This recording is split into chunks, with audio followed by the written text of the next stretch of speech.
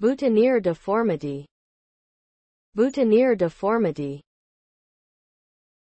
A medical condition in which the finger is flexed at the proximal interphalangeal, PIP joint, the interphalangeal, IP, joint for the thumb, or, less commonly, a toe, and there is hyperextension at the distal interphalangeal, DIP, joint.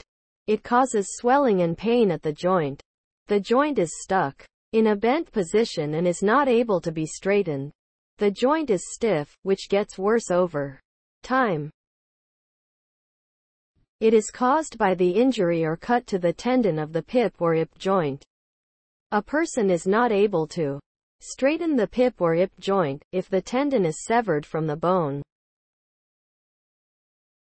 Examples of the causes, arthritis, injury, a deep cut, dislocation, or fracture.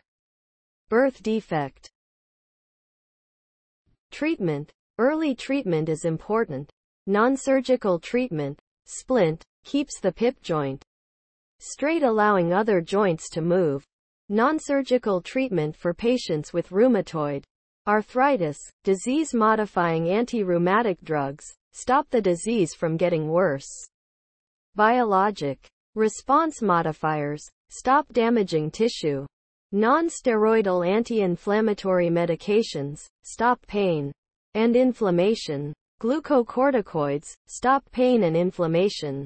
Surgical treatment, joint replacement surgery, in case it does not heal. Comparisons. Affected joints are different. Boutonniere deformity. The pip joint is flexed and the dip joint is hyperextended. Swan neck deformity.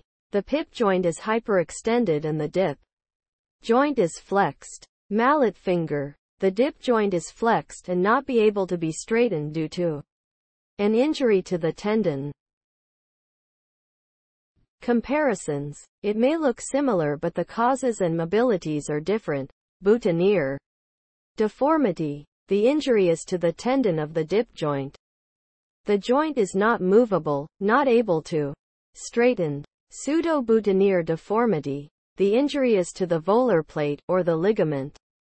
Underneath the dip joint. The joint is movable,